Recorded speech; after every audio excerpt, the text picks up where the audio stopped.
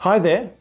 Last year we made a video showing you how to charge your Surface with a USB-C cable and this pretty clunky USB-C dongle from Surface. It was called a Surface Connect dongle. Unfortunately, this thing is no longer available. But the good news is we found some better solutions. So we recently did a video showing you some of those options. And one of the options that we quickly found was a cable from J-Go Tech that enabled you to plug in to a USB-C power source and directly into your Surface models. Now that was really good news because it meant that we could charge all sorts of Surface devices that didn't have USB on board, like a Surface Pro 4 or Pro 3, maybe a Surface Laptop 1, all via a USB battery pack or a USB-C power source.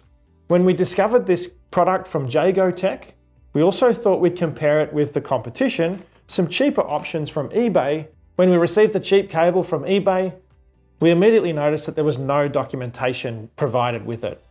Now that's a bit of a problem because charging with this method via USB-C is a little bit tricky. It does have some very specific requirements.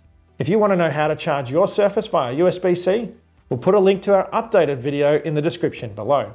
The J-Go Tech cable, on the other hand, came with good documentation, explaining what products and what chargers would work with their cable. When comparing the two cables, we noticed some pretty significant quality differences. The cheap cable was made of some pretty hard plastic. The J-Go Tech cable had a lot more flexibility, and that's likely to mean that this cable will last much longer.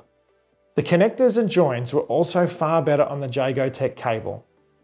That ultimately means that that cable will last a lot longer. For example, I can show you an old Surface car charger that I have here. The end of this car charger is made out of some pretty similar plastic to that cheap, dodgy eBay cable, and you can see that it's already fallen apart after only a few months of use. The Surface Connect end on the J-Go Tech cable looks very much like the real thing, and that's because it is. On the other hand, the cheap knockoff, not so much. You can tell the difference in quality here as well. The good news is we ordered the J-Go Tech cables into our stock and they'll now be available on our website to purchase for Australian and New Zealand customers. Local delivery, it saves you having to wait for those shipments to come in from overseas. If you are overseas in any other country, you can use our Amazon links in the description below to purchase in your local market.